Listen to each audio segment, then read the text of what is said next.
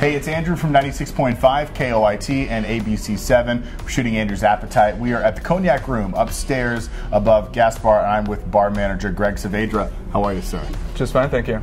Thanks for coming in. So, talk to me about the Cognac Room. What can people expect when they come here? Uh, the experience you guys are providing. The Cognac Room is a nice tucked away little alcove in the financial district.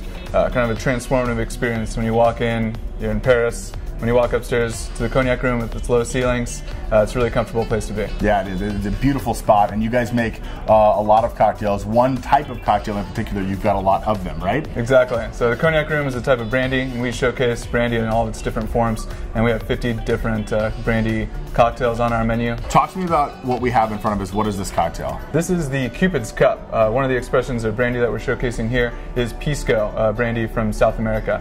So using a base of Pisco, uh, we add Aperol uh, for some nice orange brightness there. Uh, a little bit of lemon, add some citric bite, and topped off with egg whites for texture. Very nice. Well, thank you so much for having us in. We're going to talk to Chef here in just a second on uh, what's right in front of us. Thank you so much. You guys are open uh, six days a week, right up here? Yes, we're open Monday through uh, Saturday. Monday through Friday, we have social hour from 4 to 7, and on Saturdays, we have live jazz music. Fantastic. All right, we're going to talk to Chef. Thank you so much, bar manager Greg Saavedra. Thanks for having us in. Thank you. All right, so we're back with Executive Chef Adam Nickel. How are you? I'm doing great, thank you. All right, thanks for having us in. So, talk to me about uh, Gaspar, the restaurant downstairs. So, what we do is we're a French brasserie. Um, it's it's very approachable. It's simple yet refined, very seasonal.